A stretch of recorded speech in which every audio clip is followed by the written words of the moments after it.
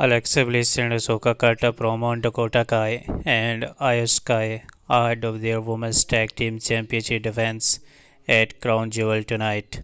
During the promo, something unusual happened and Bray Wyatt's Moth logo appeared on the screen next to Alexa Bliss. We got visibly confused for a brief moment, but Alexa Bliss and Asuka it appears that the Moth logo was only meant Alexa Bliss because of neither Asuka or Byron Saxton reacted to the logo.